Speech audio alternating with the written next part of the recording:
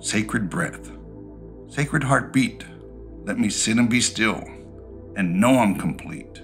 These walls that I built, as they tumble and fall, my old wounds are healing as I answer God's call.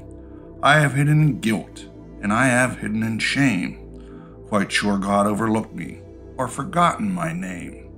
I'd wrestle the past, and with my shadows I'd box. All the trash that I carried was like a great bag of rocks, weighing me down and crushing my spirit.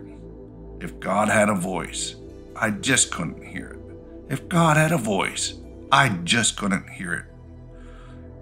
If God had a voice, it was blocked by my walls, built of pain stone. My head was like a cave of despair. The only voice I could hear was my own. I would echo my failures, and in my shame I would cry.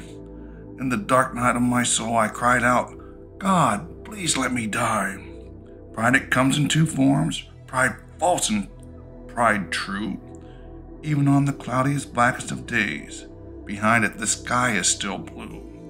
Perhaps you've been the best of the best, or perhaps even the worst of the worst, or perhaps like me, you really thought yourself cursed.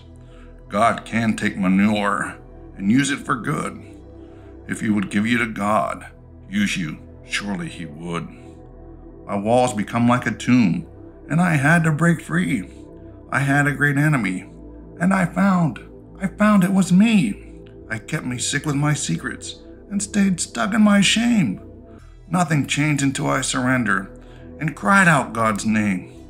Then, little by little, my walls started to fall. I gave God all my trash, and He took it all.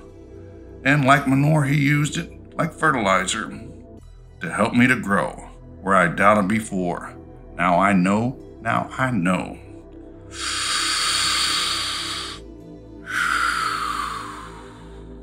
God's sacred breath and my sacred heartbeat. Now I can sit and be still and know I'm complete. Now I can sit and be still and know I'm complete.